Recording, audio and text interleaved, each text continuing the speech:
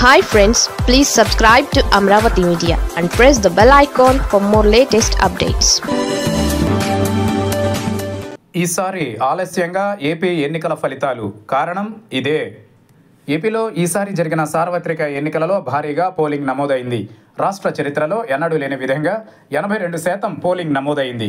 అలాగే postal ballot ద్వారా కూడా భారీగా ఓటింగ్ జరిగింది. రెండు వేల పంతొమ్మిది సార్వత్రిక ఎన్నికలతో పోలిస్తే పోలింగ్ శాతం రెండు శాతం పెరిగితే పోస్టల్ బ్యాలెట్ ఓటింగ్ మాత్రం రెట్టింపైంది.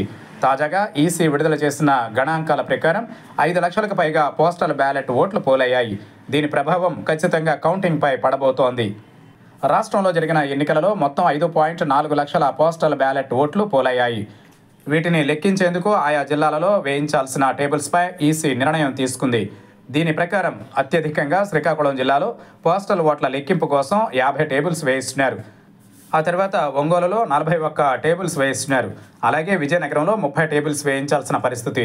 మిగతా జిల్లాలలో మాత్రం సగటున పద్నాలుగు నుంచి ఇరవై టేబుల్స్ వరకు వేయిస్తున్నారు. ఒక్కో టేబుల్కు గరిష్టంగా చూస్తే కడపలో టేబుల్కు పదిహేడు వందల ఎనభై ఓట్లు లెక్కించనుండగా గుంటూరులో పదిహేడు వందల పదిహేడు ఓట్లు లెక్కిస్తారు. అనకాపల్లిలో టేబుల్కు పదహారు వందల ఇరవై ఏడు ఓట్ల చొప్పున లెక్కించనున్నారు. ఇలా చూసుకుంటే ఒక్కో టేబుల్కు కనిష్టంగా ఐదు వందల డెబ్బై రెండు ఓట్ల నుంచి గరిష్టంగా పదిహేడు వందల ఎనభై ఓట్ల వరకు లెక్కించాల్సి ఉంది.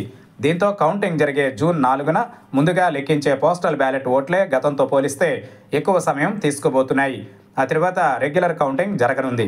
ఈ లెక్కన ఉదయం ఎనిమిది గంటలకు కౌంటింగ్ ప్రారంభమైతే పది గంటల తరువాత కౌంటింగ్ సరళి తెలియనుంది.